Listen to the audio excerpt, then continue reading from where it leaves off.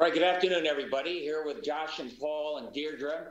Uh, tell you a little bit about where we are in COVID. First of all, thank you for your good wishes regarding um, fixing up my hip. Um, I thought if I ran 20 miles a week for the last 40 years, it would keep me forever young, but my hip had another idea. But uh, I think we're really here to talk about vaccinations. But thank you for your thoughts. I'm feeling uh, just fine. Um, we have the daily summary up here. Um, what can I tell you? I can tell you the numbers are bouncing around a little bit. Uh, you maybe remember we had a, a, positivity rate of over 10% just a couple days ago. Now we're down to 4.37%. Look at the seven day average, that's about 7%. So relatively steady, trending up a little bit, uh, lower than most of our neighbors, lower than the national average. Um, I, I'm having a hard time coming up with a rhyme or reason for how these numbers uh, bounce around. Um, early on, I, I, thought it was all about density and high density urban centers. We were part of the New York City Metro Center. That's when we got hit. And, you know, then eight months later, it was North Dakota and South Dakota, where not that many people live. So maybe that wasn't it. Then I thought it was about, um, you know, cold weather driving people indoors. Um, now I see that uh, Arizona and South uh, California, Southern California, are sort of two of our great hotspots right now. So uh, rather than try and rationalize, what we do know is outside is safer than inside, and there's nothing more important than wearing the mask. And uh, by the way, vaccines are on the way. So Connecticut continues to have a pretty fast start in getting people vaccinated. Uh, number five nationally in terms of number of people vaccinated uh, per capita. That's about 5% of our population has gotten that first vaccine by the end of today, I think. Uh, pretty good.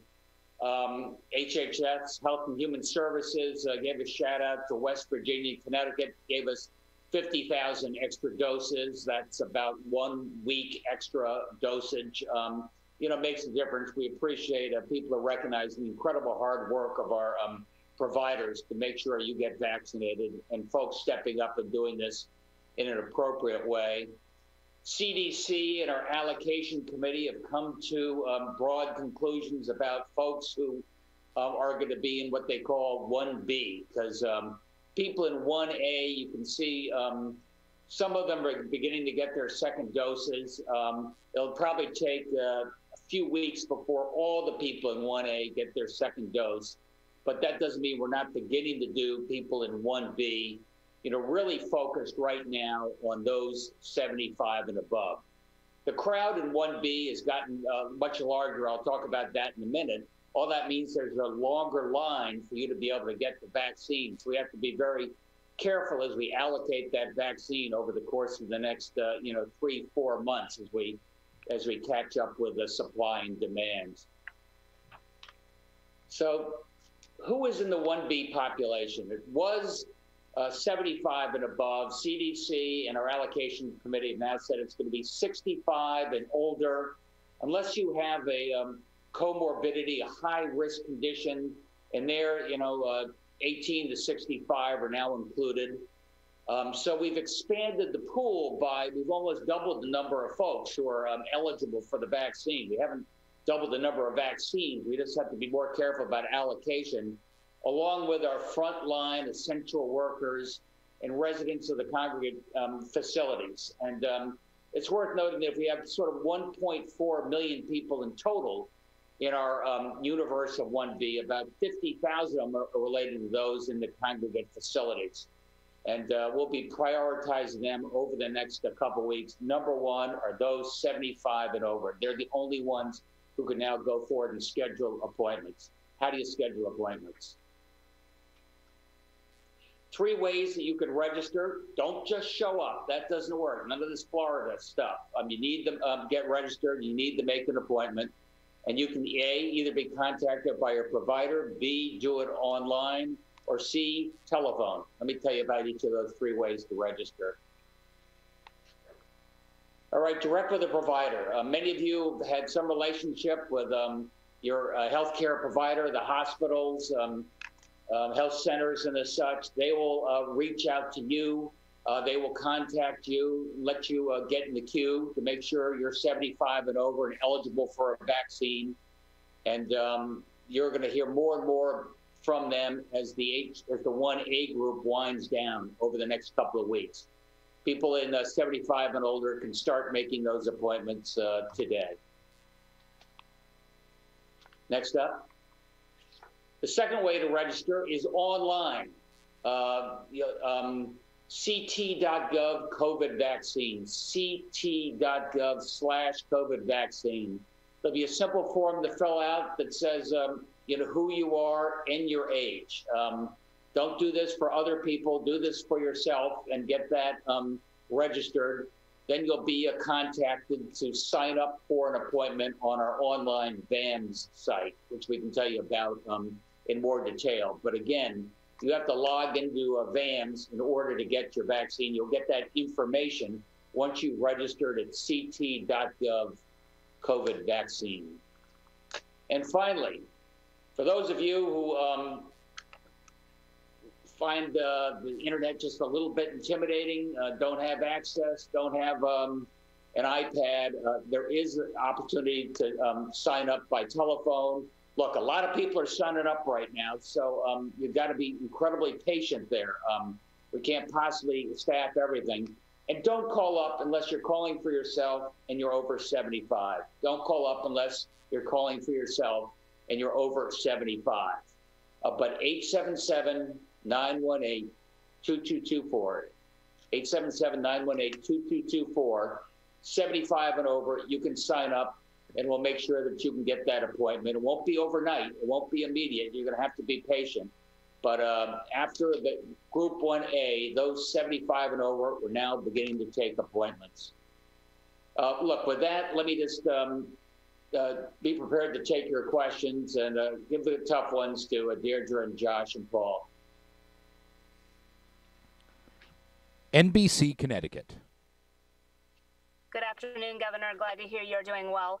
Uh, regarding the 1.3 million residents that'll soon be eligible for the vaccine, you know, you mentioned we're only getting about 46,000 first doses a week. My rough math says that's going to take about seven months to get 1B vaccinated. I mean, do you? I know that you expect the number of 46,000 to increase soon, but how soon and by how much? Well, I'll start with that. Um, two things. Um, you're right, 1.3 million. We'll see how many of them actually want to take the vaccine. Obviously, we're encouraging those people to take the vaccine. We are finding that um, older people are much more likely to sign up and want to get the vaccine. Uh, sometimes uh, the nurses and some of the other essential workers are taking a little more time. As you know, we're going to get an extra dose of 50,000. Johnson & Johnson, we hope, is going to be rolling out in the uh, near future, say within the next six weeks or so. That could be a single dose vaccine. That could greatly increase uh, our allocation. As you've probably heard, the transition from Trump to Biden um, task force are thinking about releasing some of the second doses earlier. Um, so let's let's wait and see. But there are some chances we can speed up that timeline you just mentioned. And it, uh, is phase 1B just becoming a little bit too big, a little too wieldy, given that it's almost half the state's population, uh, since it could be weeks or months? Uh, I mean, is there a need to tamp down expectations that you schedule for a vaccine and it could end up taking a month to get that? Yes, I'm afraid that's true. Um, it's, um, you know, close to half the state. And, um, and we got to make sure that uh, we prioritize people. And we're starting out for those 75 and above. And so then I imagine for the general population, they should consider that they would be moving a little bit further back as well than what may have originally be expected. Yeah, Deidre, do you want to talk a little bit about your allocation strategy beyond the 75 and above? Sure. And, um, and you're bringing up a very good point, which is that, that, this allocation strategy is limited by the number of doses that we have available. Um, as the governor said, we're hoping for more vaccine as new vaccinations uh, products get approved and as potentially the existing um, manufacturers are able to ramp up production. But uh, we, we can only give out as many vaccines as we have doses. So um, our, our uh, message to the public today is please be patient. Um, it will take time for us to get to the other members of phase 1B. We're starting with 75 and above. Um, but it will take time to get to the rest of the, the people in that category that the governor descri- described. In terms of when the general population can uh, expect vaccine, we've been saying all along that that would be around early summer. This doesn't change that all that much. We've, we've moved some people from the 1C category into 1B. The general population timeline we expect is still the summertime and, and aiming to have, if, if all goes well, aiming to have um, good population coverage by the fall. And then my last question, Governor, um, how many guardsmen will be called up and which Connecticut facilities will they be stationed at? If you can give that and any inf- a message to those thinking about protesting over the next several days? Uh, yeah, I'll start and then hand that over to Paul. But um, as you know, uh, we're sending about 100 guard down to Washington, D.C., given um, a lot of the warnings we're seeing online. Washington's going to be a lot better prepared than they were last Wednesday. Uh, we are prepared. Uh, we're prepared with our guard, the municipal police, the Capitol Police, um, and we're going to be very clear to people, um, you know, stay safe, stay home. We don't want protesters coming out right now. We certainly don't want people counter demonstrations coming. Uh, we don't want people rubbernecking, just coming out to see what's happening. Um, this is a very edgy time uh, between now through uh, the the um, inaugural. So uh, urge people to be careful, but we're ready. Paul, anything to add on that? No, the only thing that I would add, uh, Governor, at this time, we won't go into specific numbers uh, as it deals with uh, any activation of uh, the National Guard. Uh, but General Evon, upon the governor's direction, has stated that uh, the National Guard stands ready to support the Connecticut State Police, in addition to supporting the Connecticut State Capitol Police as needed. Thank you so I much. can only add that uh, the legislature, I think, is not going to be in session next week. Uh, state employees are going to uh, telecommute wherever they can just to bring down the density of people in and around the Capitol.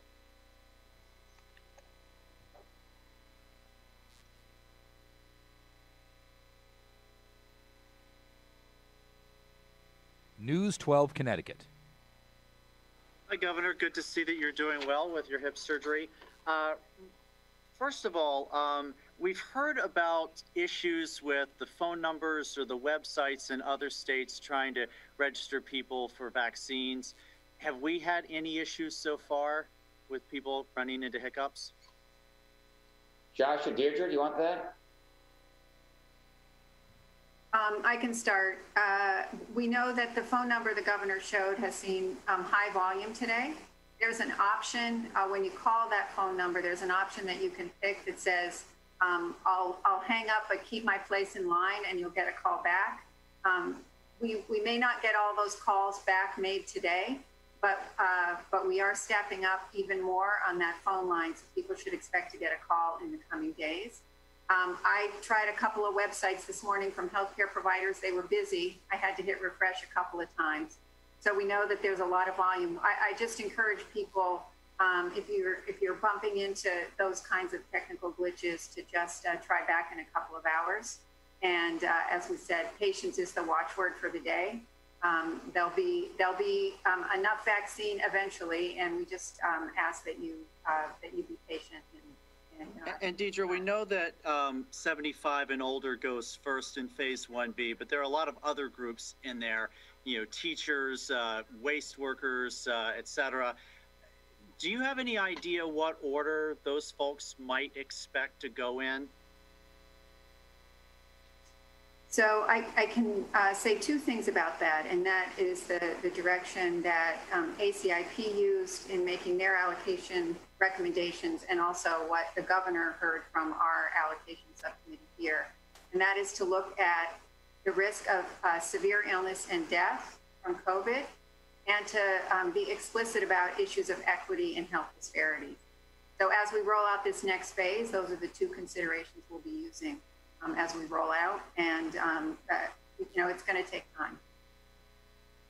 And finally, Paul and Josh, do you have uh, any indication that protests might pop up uh, over the next few days? Any specific intelligence that people ought to know about?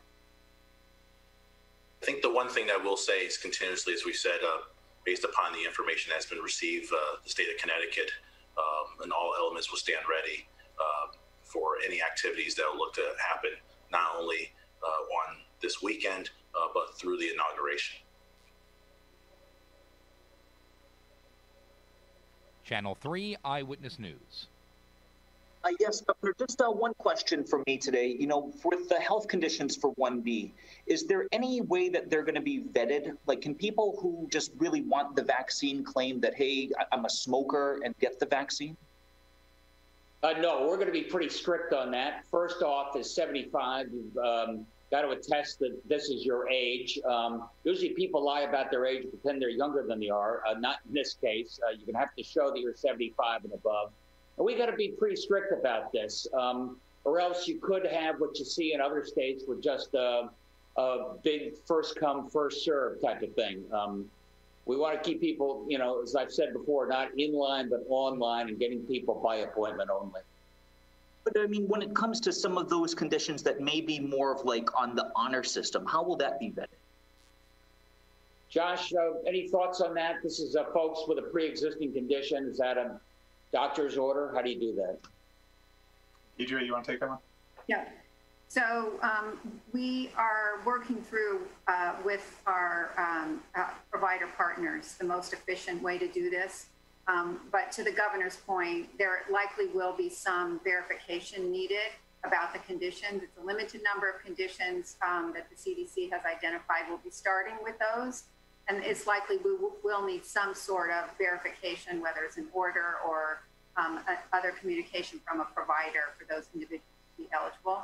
More to come on that. And we want to do that in consultation and partnership with our provider community.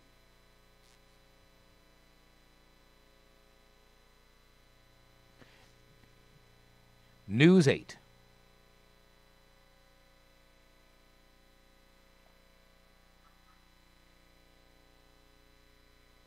News 8. WTIC 1080 News. Hi, as far as vaccine distribution, is there anything specific you expect to change when the executive branch switches over next week? What will change that will be for the better? Uh, I'll start. Um, I think you're going to see a lot more clarity. Um, uh, I, I think there's going to be a better sense of what the priorities are in terms of those populations, a lot more clarity in terms of uh, the vaccinations, or at least the um, doses as we get those vaccines, maybe be able to plan out a little bit further in advance. But I, I do think that over the last uh, couple weeks, the coordination between the outgoing um, Pence COVID task force and the incoming Biden task force uh, I think they're coordinating a lot better now. Dr. Gifford, as far as the transition, uh, you know, the the vaccination subgroup just changed phase 1B based on the CDC recommendation. Do you expect things to change radically starting next week so there will be more recommendations to cause you to switch? I, I don't at, at this point. I think um, uh, we'll continue to get information and, and further science from CDC and our HHS partners. Um, and uh, probably, as the governor mentioned, enhanced communication and collaboration. Um, but I don't uh, anticipate that there'll be um, further uh, changes to the phases at this point. We'll see. Uh, hard to say. Um, and I think there'll be news soon coming out of the new administration. But um, for right now, I think we we're planning to, to use the, uh, the allocation recommendations that we have. Fox 61. Hi, Governor. You mentioned congregate facilities. How will prisons be administered the vaccine? What's that process going to look like? Deidre or Josh, you want that one? Um, sure. Uh, so there, are, there is a healthcare team, obviously, that works with uh, our correctional facilities, and um, then they um, may use additional partners to administer the vaccine um, as needed, uh, whether that's a contract or one of our uh, uh, provider partners uh, to come on site and administer the vaccination, similar to how we've done with testing uh, throughout the pandemic.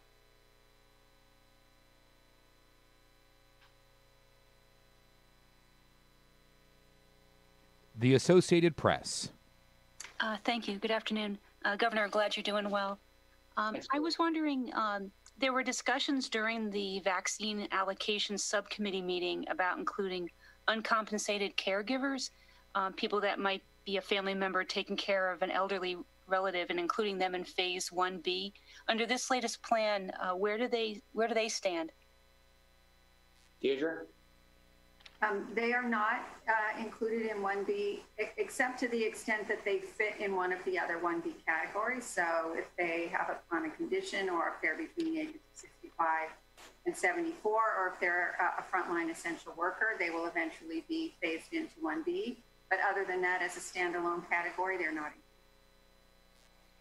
And I was wondering also, how far out are these appointments being made and how quickly did they fill up today? What's the volume been like?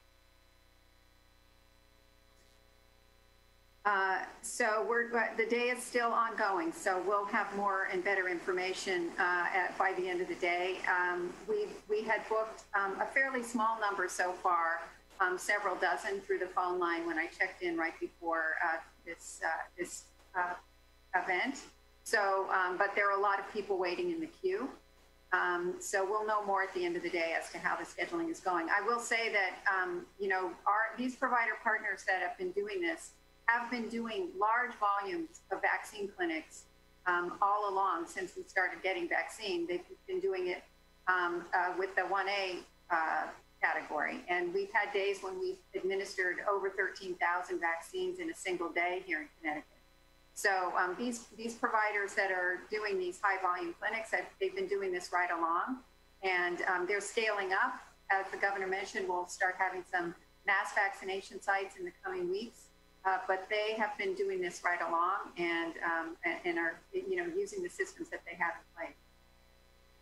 Yes, Sue, I'd only add that um, demand is far outstripping supply. As Deidre said, we're working on the um, you know mass vaccination sites. The first one will be Rentschler Field, um, you know Monday, Tuesday of next week. Uh, you'll be noticed if you have an appointment there. Of course, you can get a, a vaccine vaccinated there. You can also get tested there, and as needed, there'll also be a food support as well. So it's a triple play as needed. Oh, great. Thanks so much. Take care. Hearst, Connecticut Media.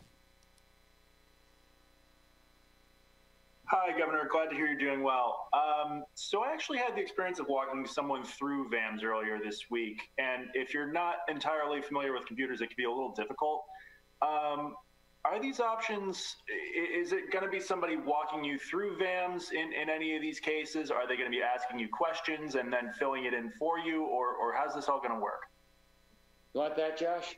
Sure. So um, for people who register on the state uh, online portal, you're right. You you will be uh, routed into VAMS, L- like any new um, you know uh, application that someone's using for the first time. Uh, it may not be perfectly intuitive where everything is, but we found that most people will find their way through there.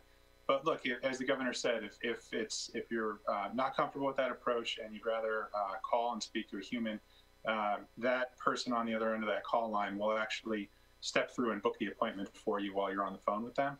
Um, so that's the other option. And then a lot of the, our, our healthcare partners who are reaching out directly, that option one category, um, they all have uh, options to book online, and many of them also have call centers uh, for their own booking appointments as well. So there will be plenty of options for people depending on how comfortable you are with technology.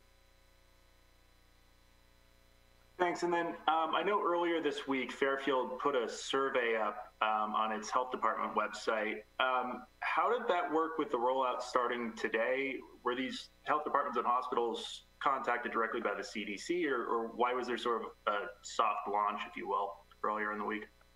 Well, we had, we had said on Monday, if you recall, that any provider who's doing vaccinations, if they had open slots available this week, that they could go ahead and start filling them with people who are 75 and older. And so we were happy to see that uh, a number of providers uh, did get out in front of that this week, and we've had hundreds of people who are 75 and older already vaccinated. So that's a great head start uh, on this process. Um, and so we're, we're happy to see a couple of health departments. But look, in every town and every city, it's going to be a little bit of a different map of whether it's the hospital, the health department, a federally qualified health center, pharmacy. In most cases, it's going to be a, a, a mesh of, of all of the above as we uh, continue to ramp up and hopefully get more doses coming in from the federal government. Uh, thank you. And then one more uh, for people who are uh, maybe don't have a home to go to or, or don't have access to a phone or computer, um, what's going to be the plan to reach out to them and, and try to get them vaccinated? So um, a, a, number of our um, provider partners have uh, been working with uh, community-based agencies to um, reach those really hard to reach populations. Um, certainly, if you are somebody who knows an, a person over 75 that is in those circumstances, we encourage you to assist them either by helping them make a phone call or um, helping them uh, navigate the system.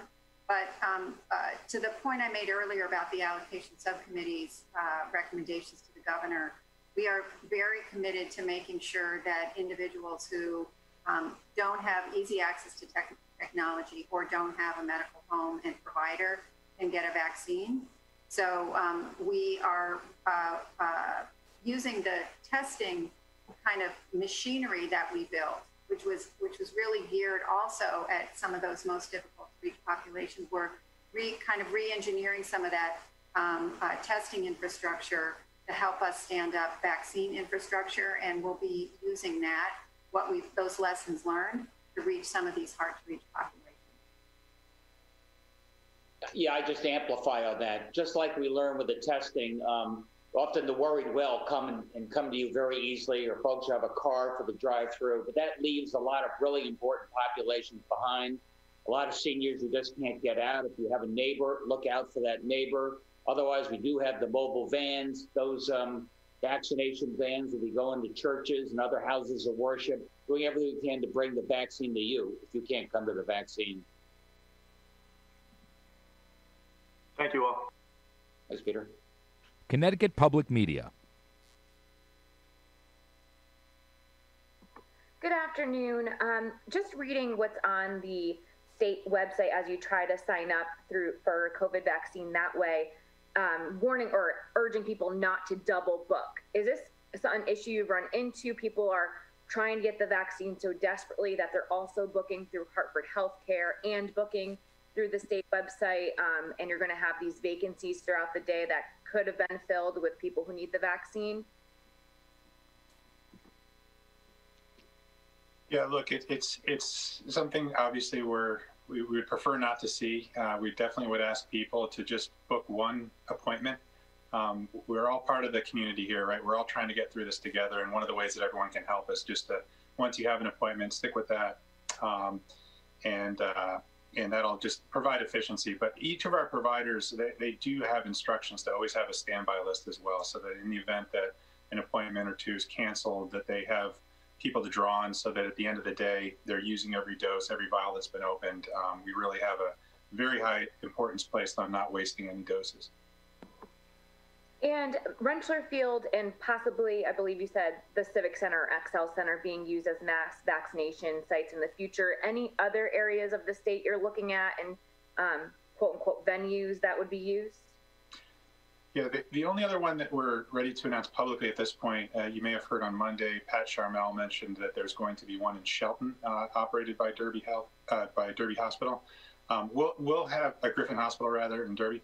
Um, we'll have um, uh, many more to announce, probably starting next week, um, that are in uh, uh, closing in on final plans.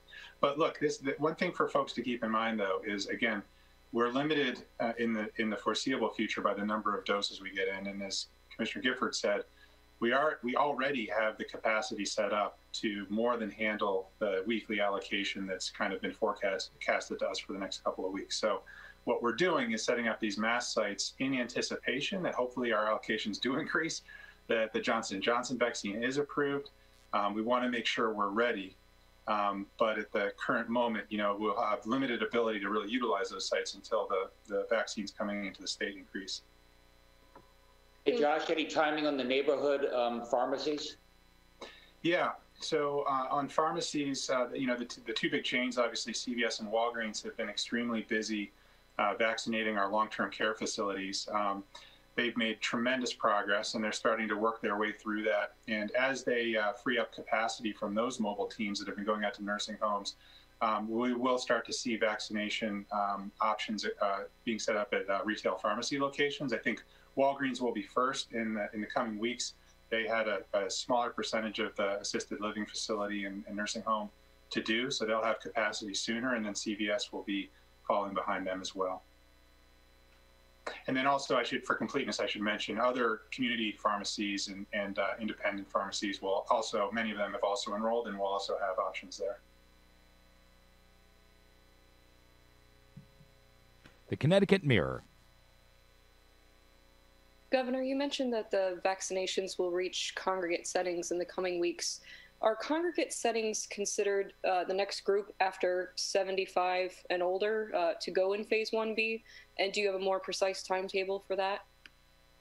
Uh, I think I'm going to leave that to Deidre, but it's worth remembering these congregate settings, um, not only these people highly at risk in terms of um, fatalities or uh, real complications, but also you've seen uh, flare-ups related to a lot of these as well. So that impacts the greater community. But where they are in the queue, Deidre?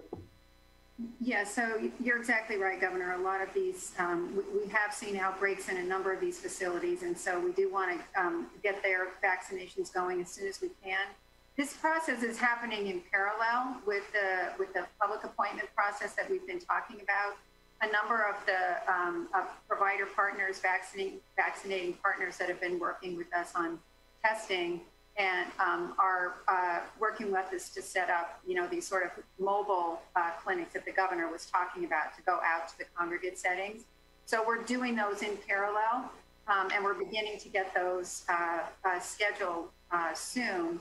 We uh, those individuals obviously don't need to, to make a phone call to get scheduled, right? The the local health department or the state public health department will be coordinating that vaccination in those congregate Thank you. The Hartford Courant.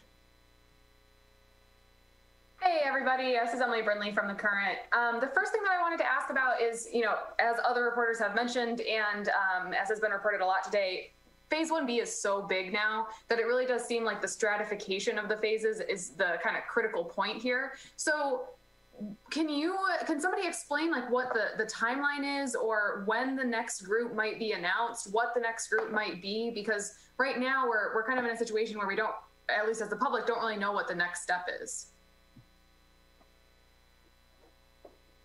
Adrian? Yep. So um, what I can what I can share with you, Emily, is the principles that um, I mentioned earlier about how we'll do the phase in um, and that is to look at um, risk of severe illness and death and to focus on issues of equity and health disparities. And then I, will point to kind of how we did the transition from 1A to 1B. Um, you, might recall that originally we thought phase 1A was going to take us through most of January and that we wouldn't be starting 1B uh, until the month of February. Well, what we noticed is we started to see drop off in demand and, uh, you know, the governor's direction to us has been no appointments left unfilled, no shots uh, left un, ungiven.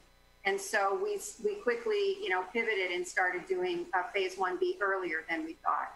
So we're focused now on individuals 75 and older because they're at very high risk for severe outcomes or death from COVID. As soon as we uh, start to see the demand from that uh, group start to taper off, we'll start pivoting to uh, other groups within 1B. I realize there, that people want uh, details about when will I be next, and again, I'm going to use that word patience and say that more details will uh, be forthcoming in, in, the in the you know next days and weeks about when the rest of the group can be expected to start getting their appointments. So, would you be able to give a timeline at least for when that information will be made public? I know you said the next days and weeks, but that could be a you know potentially a long period. So can you explain like when the state will be announcing each next group and and also who is making those decisions or who is advising the governor on those decisions? So um, it's going to depend on uh, the uptake in the current groups and the number of doses that we get uh, from the federal government those are the variables that will um, uh, tell us when we can start moving through the next phases and um, the recommendation from the allocation subcommittee to the governor was that the Department of Public Health work with the governor's office on um, rolling out phase 1B based on those principles that I described. Sorry, maybe I should have clarified my question more. I'm asking when the state will announce the next groups, even if those groups aren't going to start immediately. Because, um, you know, as you said, people are very anxious to see when they will be vaccinated. And because phase 1B is so large, it makes a significant difference what order those groups are in. So I guess I'm not clear on why the state can't decide now which group will be next, even if even if the state doesn't know when that group will start getting Yep, it's going to depend, Emily, on the uptake um, in each group, how many doses we get, and uh, and then we'll pivot to the next groups uh, as the demand slackens and the supply is available. I'm sorry, but when will the state announce which group is next? I'm not asking when the next group will actually start, but when will there be clarity on which group will be next in line? In the coming days and weeks. All right, thank you, everybody. And Governor, speedy recovery. Thank you, Emily. CT News Junkie.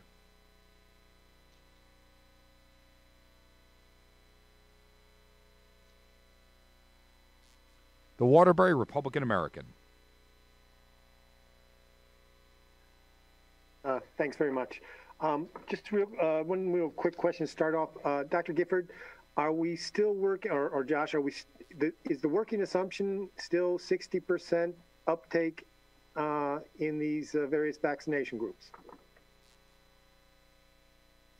Um, so we've seen, that's what we've seen uh, um, in healthcare workers. Um, uh, we've seen higher uptake in our residents of long-term care facilities, closer to 70 to 80 percent. So we anticipate that the uptake is going to differ by population. As I think Josh or the governor mentioned, uh, we do anticipate that there'll be a fairly high rate of acceptance in people over the age of 75 and, and, and probably lower rates in uh, some of the younger age. Uh, how many people are assigned to work the appointment phone line? I don't have an answer to that question. We can certainly get that back to you. Uh, the announcement today said uh, providers may fill appointments for other uh, eligible phase 1B populations as spots become available. Um, how will that be determined? I guess that sort of goes to, uh, to, to, Emily's previous question.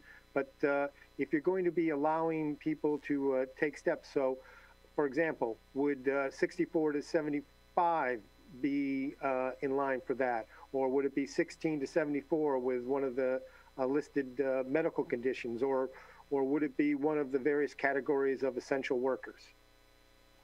So um, we're um, sending out further communication to uh, the uh, providers on this question. It's a, it's a really good question. Um, the main principle is, as I just said, um, every appointment slot should get filled and every vaccine, vaccine dose should be used. Um, and we are asking providers to reach out and really focus primarily on people 75 and older. If they are unable to fill their vaccine slots on a particular day with individuals 75 and older, um, then they um, uh, can move to uh, the other categories. Because we just got the recommendation yesterday um, around the uh, the 65 and older and the under 65 with chronic conditions, we're still still working through the logistics on that. So the next group, uh, because that, that recommendation has been out a little bit longer, that many of the providers will move to is the frontline essential. Um, could the, I guess, the reluctance of some of the phase 1A eligible um, essential workers, could, could that delay um, this process even more. I, am thinking that if, if people didn't go and, and get their shot at the at the first of the three clinics being offered at their uh, place of uh, employment, or um, then you know they're going to have to get number one and two in the in the last two, and I'm wondering if that could have any kind of ripple effect. I don't think so, Paul. I'll tell you why. Um, if you're in that first tier, um, you've got your reservation on the airplane and the last call for tier one. If uh, we haven't heard from you, then we go to the standby list, those people who are 75 and above. But uh, there will be no seat unfilled. Every single vaccine to be utilized. and just, uh, I guess the, the, the last question would be, and it, it seems pretty obvious, but I just want to confirm, uh, following up on what Sue said about uncompensated caregivers, it looks uh, like they would be in 1C, correct? Well, it really depends on, um, you know, whether they're, if they're an essential worker, that right now the 1C is the essential workers that are not frontline essential workers and uh, non-healthcare workers. Um, if they're in the general population, then that's where they would be. Oh, okay. All right. Thanks very much. Appreciate that. And Governor, uh, hope you're feeling better. CT News Junkie. Thanks, Max. Can you hear me? We got you. Okay, good. Uh, I think the first question is for Josh. Um, folks are reporting that everybody needs to have an email address in order to be entered into VAMS. Even uh, individuals who are who are making these appointments by phone a- at some point must then create an email address in order to get logged into the system. Do, have we thought about is that the case, and can we change that? Because it seems to be a, a hassle for some uh, providers.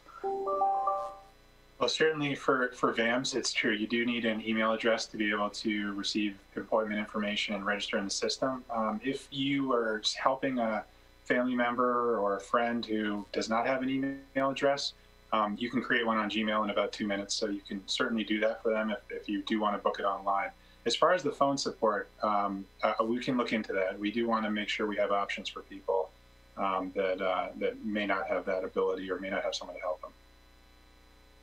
Okay. Uh, we said a few times here that, um, folks should be making these appointments for themselves. They should not have uh, somebody else calling in and making the appointment for them. I, I, guess I wonder how that would work for, for older folks, maybe folks with dementia, people who, who cannot uh, make appointments for themselves. Uh, how, how should they go about getting appointments?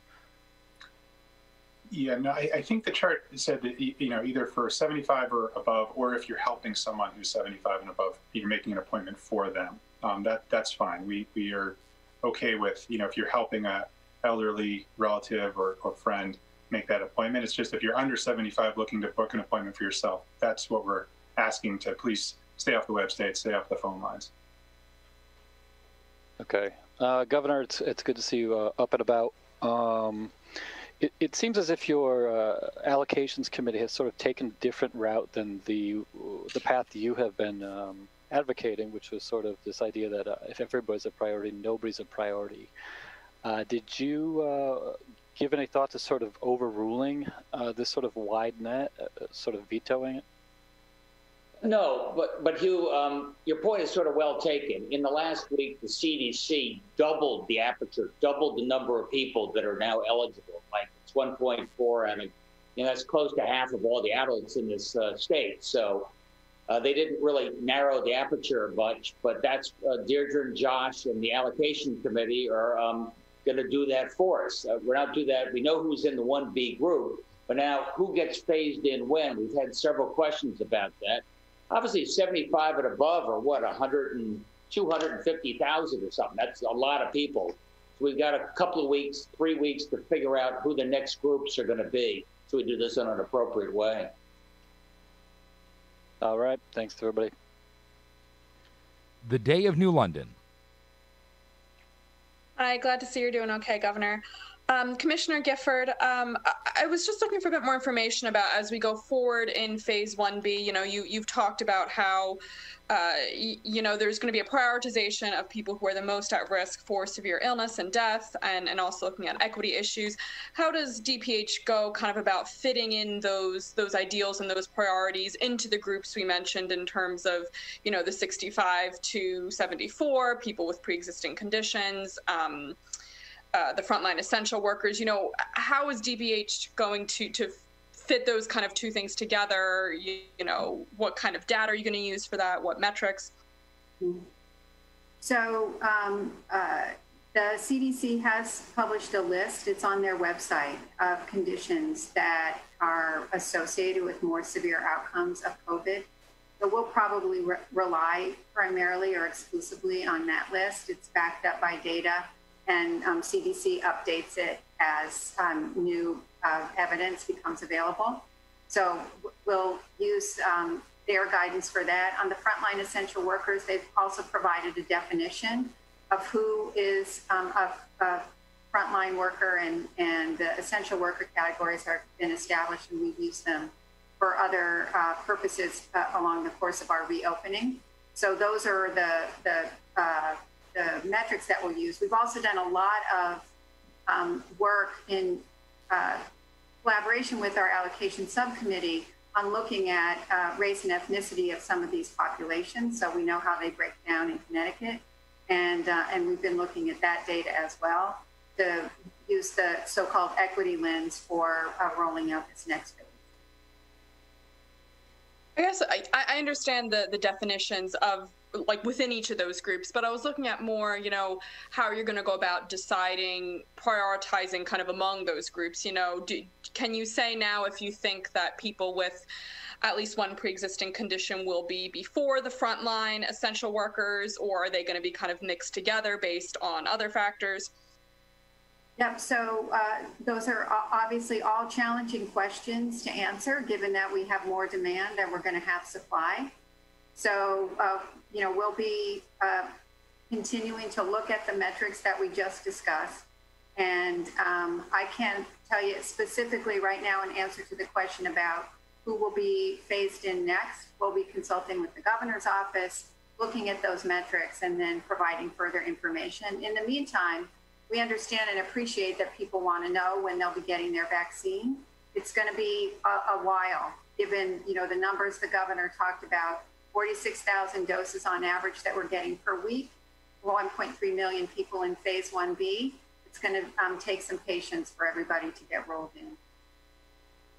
And one more thing, I, I, don't know if you can kind of say based on just, you know, you were talking about the high volume of, of calls and web traffic you've seen today with people uh, over 75 signing up. Um, both through the the phone system, through the state's web system, through other providers like Hartford Healthcare.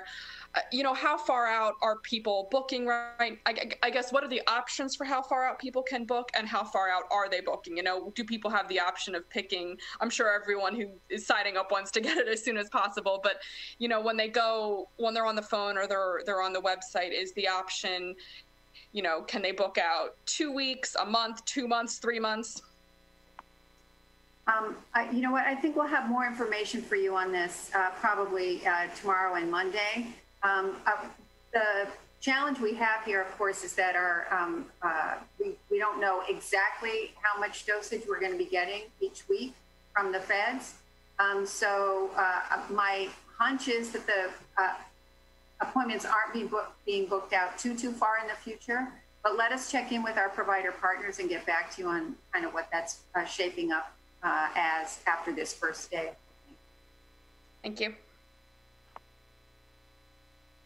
Hey, I think that might be it. Um, world has certainly changed in the last, uh, you know, six weeks, hasn't it, Deidre? I mean, at one point, you know, vaccine hesitancy, you can't make me get a vaccine. How we uh, convince people to do it? Um, the tone of these questions, the people on the phone, people trying to uh, access, uh, we understand that um, this is a state that's lost 6,500 people to COVID, and uh, we have the possibility of a uh, life-saving vaccine that seems to be working, seems to be safe and effective. Um, you know, so right now, um, Deidre, you're earning your teeth. I got to tell you, as we um, figure out how we get the vaccine allocated in an appropriate way, and that's what we're trying to do. And uh, you know, my priorities are a um, uh, the greater public health and then your individual health, and that impacts you, and that impacts uh, hospital utilization. I think those will be the key metrics as we go forward. And um, you know, in the meantime, um, you know, please respect the process. It's easy to say be patient, but uh, when you have raging COVID and people feeling um, uh, nerves on edge, I know what people are feeling. But if you're over 75, it's 877 918 2224 or go to a CT Gov COVID vaccine. Um, it's going to take a little bit longer, but we're going to get there together. Hey, thank you, guys.